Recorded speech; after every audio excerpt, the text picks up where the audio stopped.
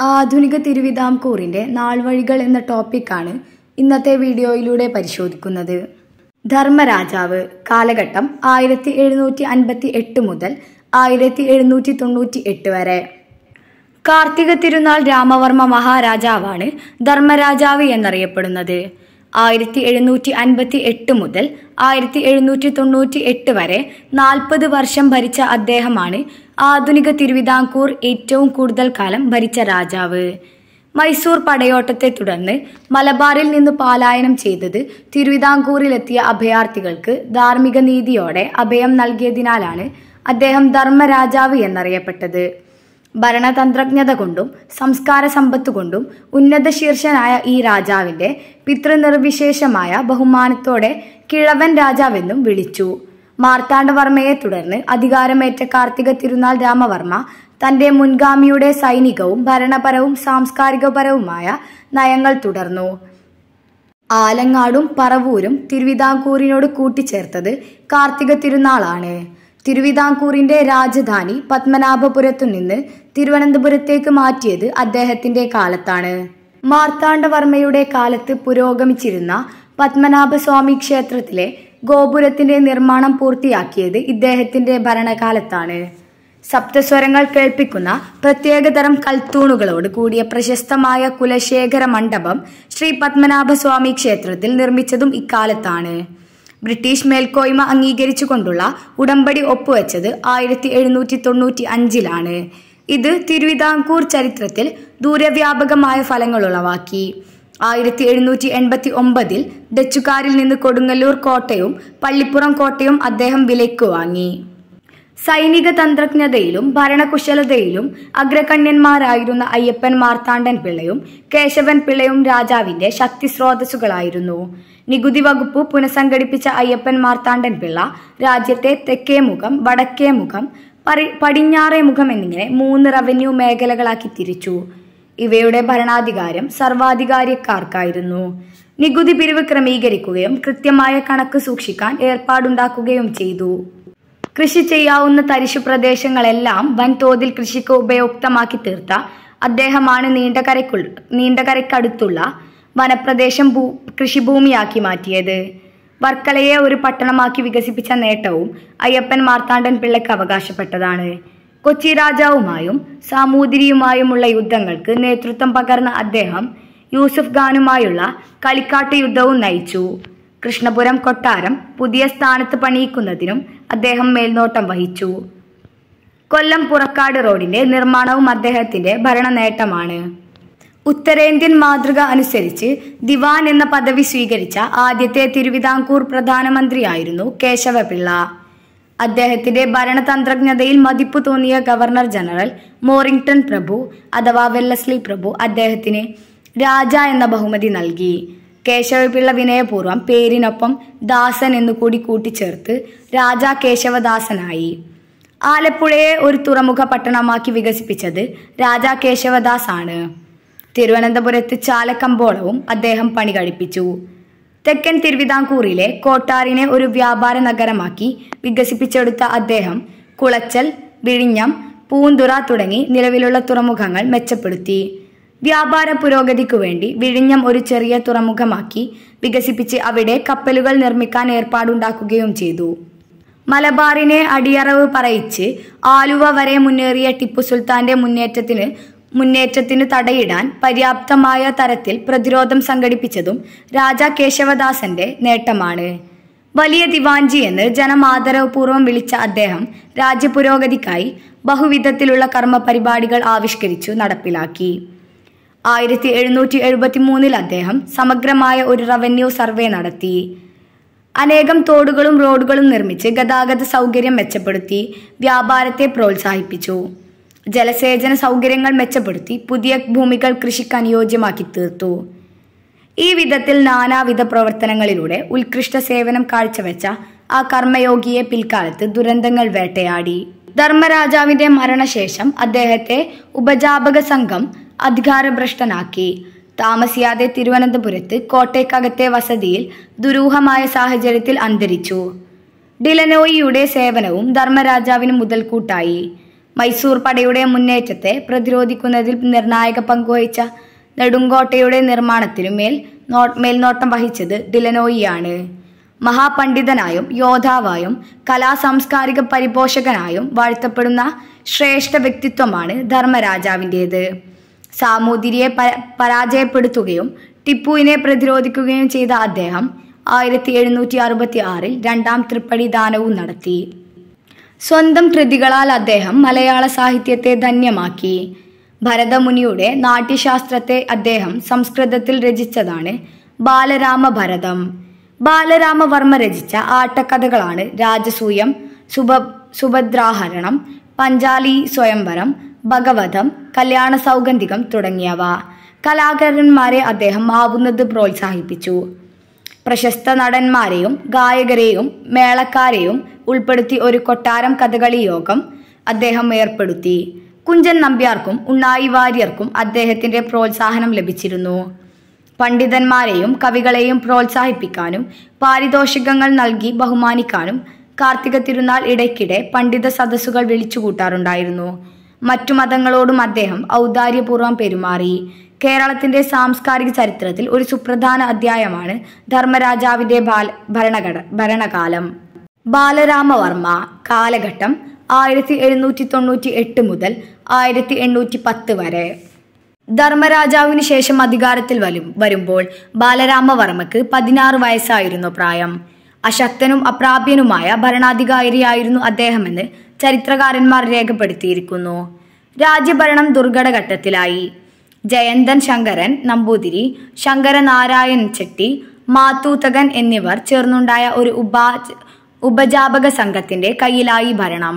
സ്വാർത്ഥ താൽപര്യ സംരക്ഷണാർത്ഥം അവർ കൈക്കൊണ്ട നടപടികൾ പൊതുജനക്ഷേമത്തിന് പ്രതിലോലകരമായി തീർന്നു ശൂന്യമായ ഖജനാവ് നിറക്കാൻ പ്രധാന വ്യക്തികളിൽ നിന്ന് നിർബന്ധിതമായി പണം കടം വാങ്ങുകയും ചെയ്തു. തലക്കുളം കാര്യക്കാരനായിരുന്ന വേലുത്തമ്പിയോട് പണം കടം വാങ്ങിയത് കാര്യങ്ങൾ കീഴ്മേൽ മറിച്ചു. ഉപജാപക സംഘത്തിനെതിരെ ജനകീയ പ്രക്ഷോഭണം സംഘടിപ്പിക്കുന്നതിൽ അദ്ദേഹം വിജയിച്ചു. നാഞ്ചി നാട്ടിൽ നിന്ന് ആയിരക്കണക്കിന് പ്രക്ഷോഭകാരികൾ വേലുത്തമ്പിയുടെ നേതൃത്വത്തിൽ തിരുവനന്തപുരത്തെത്തി. ജനദ്രോഹികളായ മൂവർ സംഘത്തെ നിഷ്കാസനം ചെയ്ത് അവർക്കുചിതമായ ശിക്ഷ നൽകുന്നതിന് പ്രക്ഷോഭകാരികൾ രാജാവിനെ നിർബന്ധിതനാക്കി. പ്രക്ഷോഭം നയിച്ച ചിറയിൻ കീഴ് ചമ്പകരാമൻ പിള്ളു പിള്ളയും തലക്കുളത്ത് വേലുത്തമ്പിയും യഥാക്രമം വലിയ സർവാധികാരിക്കാരായും മുളകുമടിശീല കാരിക്കായും കാരിക്കാരായും നിയമിക്കപ്പെട്ടു. ആയിരത്തി എണ്ണൂറ്റി ഒന്നിൽ റസിഡന്റ് മെക്കാളയുടെ അംഗീകാരത്തോടുകൂടി രാജാവ് വേലുത്തമ്പിയെ ദളവയാക്കി നിയമിച്ചു. ആയിരത്തി എണ്ണൂറ്റി ഒമ്പത് വരെ തിരുവിതാംകൂർ ദളവ പട്ടം അലങ്കരിച്ച വേലുത്തമ്പിക്ക് കേരള ചരിത്രത്തിലെ ധീരദേശാഭിമാനികൾക്കിടയിൽ സമുന്നത സ്ഥാനമാണുള്ളത്. ആയിരത്തി എഴുന്നൂറ്റി തൊണ്ണൂറ്റി അഞ്ചിലെ തിരുവിതാംകൂർ ബ്രിട്ടീഷ് സഖ്യം മൂലം രാജ്യത്തിന്റെ പരമാധികാരം അടിയറ വയ്ക്കപ്പെട്ടിരുന്നു. നയപരമായ എല്ലാ കാര്യങ്ങളിലും ബ്രിട്ടീഷ് പ്രസിഡന്റുമായി ആലോചിക്കേണ്ട സ്ഥിതി വന്നു. ഈ സാഹചര്യത്തിൽ ഭരണമേറ്റ വേലുത്തമ്പിക്ക് ഒട്ടേറെ വിഷയഘട്ടങ്ങളെ അതിജീവിക്കേണ്ടി വന്നു. ജനക്ഷേമകരമായ പല പരിഷ്കാരങ്ങളും വേലുത്തമ്പി നടപ്പിലാക്കി. അഴിമതിക്കാരും സത്യസന്ധരല്ലാത്തവരുമായ ഉദ്യോഗസ്ഥരെ പിരിച്ചുവിട്ട് അദ്ദേഹം ഭരണരംഗം ശുദ്ധീകരിച്ചു. പുതിയൊരു സർവേ നടത്തി ഭൂമി വിസ്തീർണം നിജപ്പെടുത്തിയ അദ്ദേഹം നികുതി വിഭാഗം പുനഃസംഘടിപ്പിക്കുകയും നികുതിയുടെ കൃത്യമായ സംഭരണം ഉറപ്പുവരുത്തുകയും ചെയ്തു. ഇതുമൂലം ഭൂനികുതി ഇനത്തിൽ സാരമായ വർധനവുണ്ടായി. രാജ്യത്തിന്റെ സാമ്പത്തിക സ്ഥിതിയും മെച്ചപ്പെട്ടു. വ്യാവസായിക കാര്യങ്ങളിൽ അദ്ദേഹം പ്രത്യേക ശ്രദ്ധ പതിപ്പിച്ചു. വ്യാവസായ പുരോഗതിക്കായി ഗതാഗത സൗകര്യങ്ങൾ കൂടുതൽ കാര്യക്ഷമമാക്കി. പട്ടണങ്ങളുടെ വികസനത്തിലും അദ്ദേഹം ശ്രദ്ധിച്ചു. തിരുവനന്തപുരം നഗരം നന്നാക്കി. കോട്ടയ്ക്കകത്തെ അസംബ്ലി ഹാൾ ഉൾപ്പെടെ നിരവധി സർക്കാർ കെട്ടിടങ്ങൾ നിർമ്മിച്ച് തലസ്ഥാന നഗരത്തിന്റെ പ്രൗഢി കൂട്ടി.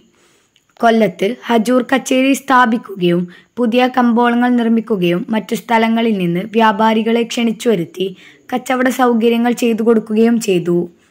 ആലപ്പുഴ നഗരത്തിന്റെ തുറമുഖത്തിന്റെയും വികസനത്തിലും വേലുത്തമ്പി വളരെ താല്പര്യം കാണിച്ചു.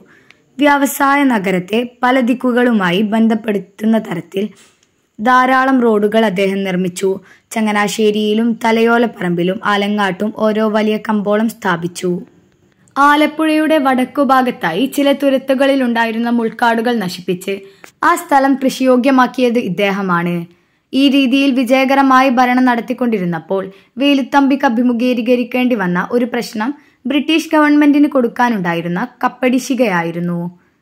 ഭരണച്ചെലവ് വെട്ടിച്ചുരുക്കി പണം കണ്ടെത്താനുള്ള അദ്ദേഹത്തിന്റെ ശ്രമം പ്രശ്നങ്ങൾക്ക് കാരണമായി. ദളവയുടെ ശത്രുക്കൾ ഈ അവസരം ഉപയോഗിച്ച് ജനങ്ങളെ ഇളക്കിവിട്ടു. തടവിലാക്കപ്പെട്ടവരെ തുറന്നുവിടുകയും പട്ടാളക്കാർ താവളം വിട്ടു പോവുകയും ചെയ്തു. ലഹളക്കാർ ഒരുമിച്ച് തിരുവനന്തപുരത്തെത്തി. ദളവയെ നീക്കം ചെയ്ത് പകരം സൈന്യമേധാവികൾ തിരഞ്ഞെടുക്കുന്ന ഒരാളെ മന്ത്രിയാക്കണമെന്ന് കലാപകാരികൾ രാജാവിനോട് ആവശ്യപ്പെട്ടു.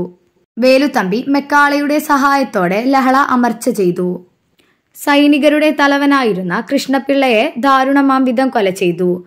തിരുവിതാംകൂറിന്റെ ആഭ്യന്തര കാര്യങ്ങളിൽ ബ്രിട്ടീഷുകാർക്ക് അധികാരമുണ്ടാകണമെന്ന് ഒരാശയം മെക്കാളം മുന്നോട്ട് വെച്ചു. ഒടുവിൽ തിരുവിതാംകൂറിനെ സംബന്ധിച്ചിടത്തോളം പിൽക്കാലത്ത് തികഞ്ഞ അപകടത്തിനു വഴിവെച്ച പത്ത് നിബന്ധനകളിൽ ഒപ്പുവയ്ക്കാൻ മഹാരാജാവ് നിർബന്ധിതനായി. നിബന്ധനകൾ ഒപ്പുവെച്ചെങ്കിലും കപ്പക്കുടിശികയുടെ കാര്യത്തിൽ മെക്കാളയും വേലുത്തമ്പിയും ഇടഞ്ഞു. തമ്പിയെ ദളവ പദത്തിൽ നിന്നും നീക്കം ചെയ്യണമെന്ന് മെക്കാള രാജാവിനോട് ആവശ്യപ്പെട്ടു. കൊട്ടാരത്തിലെ സ്വർണം പണയം വെച്ച് കപ്പക്കുടിശിക കുറെയൊക്കെ അടച്ചു. എന്നിട്ടും മെക്കാളയും നീരസം കെട്ടടങ്ങിയില്ല. വേലുത്തമ്പി തന്ത്രപൂർവം ആയുധബലം ഗണ്യമായി വർദ്ധിപ്പിക്കുകയും കോട്ടകൾ കെട്ടുകയും ചെയ്തു. ആയിരത്തി എണ്ണൂറ്റി അഞ്ചിലെ ഉടമ്പടിയിലെ നിബന്ധനകൾ മറികടന്ന് വേലുത്തമ്പി കൊച്ചി ദിവാൻ പാലിയത്തച്ഛനോടൊന്നിച്ച് ശക്തമായ ആക്രമണത്തിന് തുടക്കം കുറിച്ചു. മെക്കാളയും വധിക്കാൻ ശ്രമിച്ചെങ്കിലും അദ്ദേഹം അത്ഭുതകരമായി രക്ഷപ്പെട്ടു. പിന്നീട് വേലുത്തമ്പി കൊല്ലത്ത് തമ്പടിച്ചിരുന്ന കമ്പനി സൈന്യത്തിനെതിരെ യുദ്ധം പ്രഖ്യാപിച്ചു. ഏറ്റുമുട്ടലിൽ വേലുത്തമ്പിക്ക് വിജയിക്കാൻ കഴിഞ്ഞില്ല. ബ്രിട്ടീഷ് സൈന്യത്തെ നേരിടുന്നതിന് സജ്ജരാകാൻ ജനങ്ങളോട് ആഹ്വാനം ചെയ്തുകൊണ്ട് ആയിരത്തി എണ്ണൂറ്റി ഒമ്പത് ജനുവരി പതിനൊന്നിന് വേലുത്തമ്പി കുണ്ടറ വിളംബരം നടത്തി. ഇത് ജനങ്ങളെ സംഘടിതരും ആവേശഭരിതരുമാക്കി. കൊല്ലത്തും കൊച്ചിയിലും തിരുവിതാംകൂർ സൈന്യം പരാജയപ്പെട്ടു. പാലിയത്തച്ഛൻ ബ്രിട്ടീഷുകാർക്ക് കീഴടങ്ങി. ആലുവാമൊഴിയിൽ വെച്ച് തിരുനെൽവേലിയിൽ നിന്നുള്ള സൈന്യവുമായുള്ള ഏറ്റുമുട്ടലിലും തിരുവിതാംകൂർ പരാജയപ്പെട്ടു. തുടർന്ന് ഉമ്മിണിത്തമ്പിയുടെ നിർദ്ദേശാനുസരണം രാജാവ് വേലുത്തമ്പിയെ ദളവാസ്ഥാനത്തു നിന്നും മാറ്റി. ആയിരത്തി എണ്ണൂറ്റി ഒമ്പത് മാർച്ച് പതിനെട്ടിന് ഉമ്മിണിത്തമ്പിയെ ദിവാനായി നിയമിച്ചു. വേലുത്തമ്പിയെ നശിപ്പിക്കാനാണ് ഉമ്മിണിത്തമ്പി ശ്രമിച്ചത്. വേലുത്തമ്പിയുടെ തലയ്ക്ക് പതിനായിരം രൂപ വില പറഞ്ഞു. ജീവനോടെ ബ്രിട്ടീഷുകാർക്ക് കീഴടങ്ങുകയില്ലെന്ന് പ്രതിജ്ഞ ചെയ്ത തമ്പി ഒളിവിൽ കഴിഞ്ഞു. തന്റെ ഉടവാൾ അദ്ദേഹം കിളിമാനൂർ കോയ്ത്തമ്പുരാനെ ഏൽപ്പിച്ചു. മണ്ണടി ഭഗവതി ക്ഷേത്രത്തിൽ ഒളിവിൽ കഴിഞ്ഞിരുന്ന അദ്ദേഹത്തെ ആയിരത്തി എണ്ണൂറ്റി ഒമ്പത് ഏപ്രിൽ എട്ടിന് ശത്രുക്കൾ വളഞ്ഞു. ശത്രുക്കളുടെ പിടിയിൽപ്പെടുമെന്നുറപ്പായപ്പോൾ ഉറയിൽ സൂക്ഷിച്ചിരുന്ന കടാര നെഞ്ചിൽ കുത്തിയിറക്കി. അതുകൊണ്ടും ജീവൻ പോകാത്തത് കാരണം അദ്ദേഹത്തിന്റെ അഭ്യർത്ഥന പ്രകാരം അനുജൻ പത്മനാഭൻ തമ്പി ശിരസ് വെട്ടിമാറ്റി. ബ്രിട്ടീഷുകാർ തമ്പിയുടെ മൃതദേഹം തിരുവനന്തപുരത്ത് കൊണ്ടുവന്ന് കഴുമരത്തിൽ കെട്ടിത്തൂക്കി പ്രതികാരം തീർത്തു. അനുജൻ പത്മനാഭൻ തമ്പിയെ കൊല്ലത്തു വെച്ച് വധിച്ചു. വേലുത്തമ്പിയുടെ വീട് ഇടിച്ചു നരത്തുകയും ബന്ധുക്കളെ മാലിദ്വീപിലേക്ക് നാടുകടത്തുകയും ചെയ്തു. വേലുത്തമ്പിക്കു പകരം ദിവാനായ ഉമ്മിണിത്തമ്പി ബുദ്ധിയും സാമർഥ്യവും രാജ്യത്തിന്റെ പൊതുസ്ഥിതിയെപ്പറ്റി ധാരണയുമുള്ള ആളായിരുന്നു. എങ്കിലും തന്റെ മുൻഗാമിയേക്കാൾ പ്രഗത്ഭനാണെന്ന് വരുത്താനുള്ള ആഗ്രഹവും അധികാരത്തിനു വേണ്ടിയുള്ള ദുർമോഹവും അദ്ദേഹത്തെ പിടികൂടിയിരുന്നു. ഈ ലക്ഷ്യത്തോടെ ഭരണസമ്പ്രദായം ആകെ അഴിച്ചു പണിയാൻ അദ്ദേഹം തീരുമാനിച്ചു. മഹാരാജാവിന്റെ പ്രീതിക്ക് പാത്രമായിരുന്ന ഉമ്മിണിത്തമ്പിക്ക് ഇഷ്ടങ്ങൾ നടപ്പാക്കാൻ മഹാരാജാവിൽ നിന്ന് യാതൊരു തടസ്സവും ഉണ്ടായിരുന്നില്ല. ഉമ്മിണിത്തമ്പിയുടെ നടപടികളിൽ പലതും രാജ്യക്ഷേമത്തിന് വളരെ അനുയോജ്യമായിരുന്നു. പോലീസ് സംവിധാനത്തിന്റെ പ്രാകൃത രൂപമായ കാവൽ ആവിഷ്കരിച്ചത് ഉമ്മിണിത്തമ്പിയാണ്. നീതിന്യായ സംവിധാനം കാര്യക്ഷമമാക്കുന്നതിന് രാജ്യത്ത് ജില്ലാ ജയിലുകൾ സ്ഥാപിച്ചു. സർക്കാർ നടപടികൾക്കെതിരെ സംഘടിതമായി പ്രതിഷേധിക്കാൻ നാഞ്ചിനാട്ട് ജനങ്ങൾക്കുണ്ടായിരുന്ന അവകാശം നിർത്തലാക്കി. നെയ്യാറ്റിൻകരയ്ക്കും തിരുവനന്തപുരത്തിനും ഇടയ്ക്കുണ്ടായിരുന്ന കാടുകൾ വെട്ടിത്തെളിച്ച് വാസയോഗ്യമാക്കി അവിടെ കമ്പോളങ്ങളും അഗ്രഹാരങ്ങളും കൊട്ടാരങ്ങളും സംഭരണശാലകളും ഉണ്ടാക്കിയതിനു പുറമെ ആ സ്ഥലത്ത് നെയ്ത്തുകാരെ കുടിപ്പാ കുടിയേറിപ്പാർപ്പിക്കുവാൻ ഇടപാടും ചെയ്തു. രാജാവിന്റെ നാമധേയത്തിൽ ആ പ്രദേശത്തിന് ബാലരാമപുരമെന്ന് പേരിടുകയും ചെയ്തു. വിഴിഞ്ഞം ഒരു തുറമുഖമായും വ്യവസായ കേന്ദ്രമായും വികസിപ്പിക്കുന്നതിനുള്ള പദ്ധതികൾ അദ്ദേഹം ആവിഷ്കരിച്ചു. റാണി ഗൗരി ലക്ഷ്മിഭായ് കാലഘട്ടം ആയിരത്തി എണ്ണൂറ്റി പത്ത് മുതൽ പതിനാല് വരെ. മൈസൂർ പടയോട്ട കാലത്ത് മലബാറിൽ നിന്ന് പാലായനം ചെയ്ത് തിരുവിതാംകൂറിൽ അഭയം തേടിയ കോലത്തുനാട് രാജകുടുംബത്തിലെ ഒരു ശാഖയായിരുന്നു റാണി ലക്ഷ്മിഭായിയുടെ പൂർവ കുടുംബം ധർമ്മരാജാവിന്റെ കാലത്ത് ഗൗരി ലക്ഷ്മി ബായിയെയും അനുജത്തി ഗൗരി പാർവതി ബായിയെയും ആറ്റിങ്ങൽ കൊട്ടാരത്തിലേക്ക് ദത്തെടുത്തു. ഈ റാണിക്ക് രാജരാജവർമ്മ കോയിത്തമ്പുരാനിൽ ജനിച്ച പുത്രനാണ് ഗർഭശ്രീമാൻ എന്ന് പ്രസിദ്ധനായ സ്വാതി തിരുനാൾ മഹാരാജാവ്. ആയിരത്തി എണ്ണൂറ്റി പത്തിൽ അവിട്ടം തിരുനാൾ ബാലരാമവർമ്മ നാടു നീങ്ങിയപ്പോൾ സിംഹാസനത്തിനു വേണ്ടി മാവേലിക്കര കേരളവർമ്മ അവകാശമുന്നയിച്ചു. അന്ന് രാജകുടുംബത്തിൽ പുരുഷ പ്രജകൾ ഉണ്ടായിരുന്നില്ല. വേലുത്തമ്പിക്ക് അനുകൂലമായി പ്രവർത്തിച്ചയാളാണ് കേരളവർമ്മ എന്നതിനാൽ ഈസ്റ്റ് ഇന്ത്യ കമ്പനിക്ക് അദ്ദേഹത്തെ രാജ്യാവകാശിയാക്കാൻ താല്പര്യമുണ്ടായിരുന്നില്ല അന്നത്തെ റെസിഡന്റ് കേണൽ മൺട്രോ ഗൗരി ലക്ഷ്മിബായിക്കു വേണ്ടിയാണ് നിലകൊണ്ടത്. മുൻ രേഖയുടെ അടിസ്ഥാനത്തിൽ ബ്രിട്ടീഷുകാർ ലക്ഷ്മിബായിയെ റാണിയായി അവരോധിച്ചു. അതിന്റെ ഉപകാരസ്മരണ എന്ന നിലയിൽ ദിവാൻ ഉമ്മിണിത്തമ്പിയെ മാറ്റി മൻറോയെ ദിവാനായി നിയമിക്കുകയും ചെയ്തു. നെല്ലൂരിൽ തടവറയിൽ കിടന്നാണ് ഉമ്മിണിത്തമ്പി മരിച്ചത്. തിരുവിതാംകൂർ ഭരണം പൂർണമായും ഈസ്റ്റ് ഇന്ത്യ കമ്പനിക്ക് അടിയറ വയ്ക്കുന്നതിന് ഇത് വഴിതെളിച്ചു കേരളവർമ്മയും സഹായികളും ചേരിതിരിവിന്റെ ലക്ഷണങ്ങൾ കാണിച്ചു തുടങ്ങിയപ്പോൾ കേണൽ മൺട്രോ അദ്ദേഹത്തെ ആദ്യം തലശ്ശേരിയിലും പിന്നീട് അവിടെ നിന്നു ചികൽപേട്ടയിലേക്കും മാറ്റി താമസിപ്പിച്ചു. അവിടെ അദ്ദേഹം ഏറെക്കാലം കഴിച്ചുകൂട്ടി. തമ്പുരാൻമുക്ക് എന്നറിയപ്പെട്ട ആ സ്ഥലം പിന്നീട് താമ്പരമായി. പ്രജാക്ഷേമം ലക്ഷ്യമിട്ട് റാണി രാജഭരണം മൺറോയെ വിശ്വസിച്ചേൽപ്പിച്ചു. രാജ്യത്തിന്റെ ക്രമസമാധാനം പുനഃസ്ഥാപിക്കണമെന്നും രാജ്യനന്മയ്ക്കു വേണ്ടി പ്രവർത്തിക്കണമെന്നും റാണിയെപ്പോലെ താൽപര്യം മൺറോയ്ക്കുമുണ്ടായിരുന്നു. റസിഡന്റിനെയും ദിവാന്റെയും ഭാരിച്ച ചുമതലകൾ ഏൽപ്പിക്കപ്പെട്ട മൺറോക്ക് മുന്നിൽ നിരവധി പ്രശ്നങ്ങളുണ്ടായിരുന്നു. കീഴുദ്യോഗസ്ഥരുടെ മേൽ നിയന്ത്രണമില്ല എന്നത് ഭരണ സംവിധാനത്തിന്റെ പ്രധാന ന്യൂനതകളിലൊന്നായി മനസ്സിലാക്കിയ അദ്ദേഹം സർക്കാർ ഉദ്യോഗസ്ഥന്മാർ ചെയ്യുന്ന അഴിമതിക്കും മറ്റു തരത്തിലുള്ള അസാൻമാർഗിക പ്രവർത്തികൾക്കും ദണ്ഡനീതി നടപ്പിലാക്കി. ഒരു വർഷത്തിനിടയിൽ അദ്ദേഹം ചിട്ട അച്ചടക്കം അനുസരണ തുടങ്ങിയവ ഉദ്യോഗസ്ഥർക്കിടയിൽ നടപ്പിലാക്കി. ബ്രിട്ടീഷ് മാതൃകയിൽ തിരുവിതാംകൂറിൽ സെക്രട്ടേറിയറ്റ് സമ്പ്രദായം നടപ്പിലാക്കിയത് മൺട്രോ ആണ്.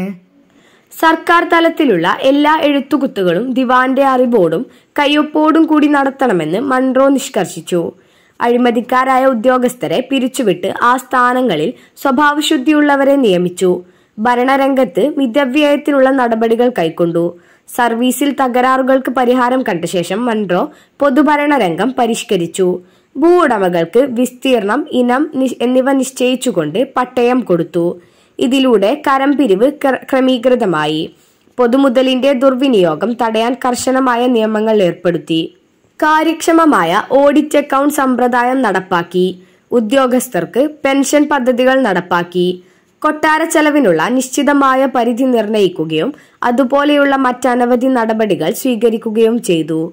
തലപ്പണം തുടങ്ങിയ അനാവശ്യ നികുതികൾ ഒഴിവാക്കി.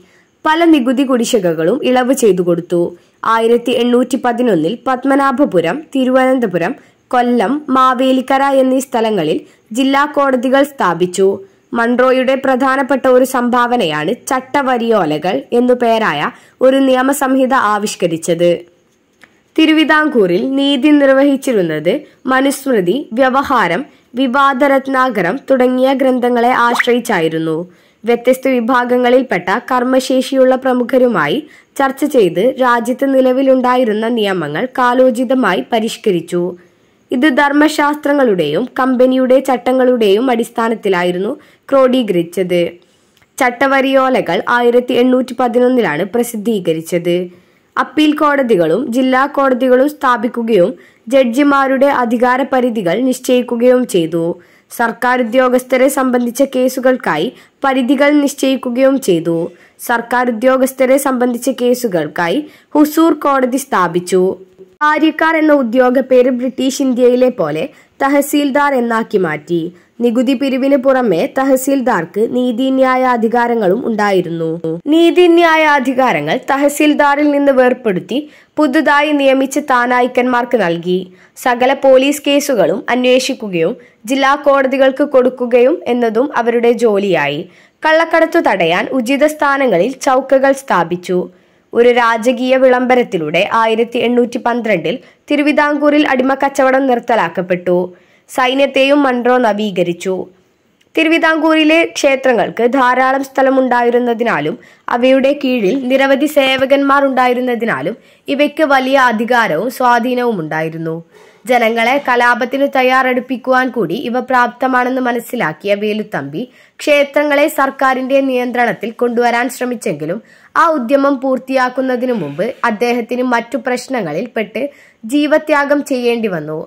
മൺറോ ക്ഷേത്രങ്ങളെ സർക്കാർ സർക്കാർ ഉടമസ്ഥതയിലാക്കി. അങ്ങനെ ക്ഷേത്രം വക വസ്തുക്കളും വരുമാനങ്ങളും സർക്കാർ നിയന്ത്രണത്തിലായി. ക്ഷേത്രങ്ങൾക്കുമേൽ കരക്കാർക്കുണ്ടായിരുന്ന സ്വാധീനം നിലച്ചു. ജനശക്തി സർക്കാരിനെതിരെ തിരിയരുതെന്ന് മുൻകരുതലോടെ മൺറോ എടുത്ത ഈ നടപടി പിൽക്കാലത്ത് ദൂരവ്യാപകമായ ഫലങ്ങൾ ഉളവാക്കി.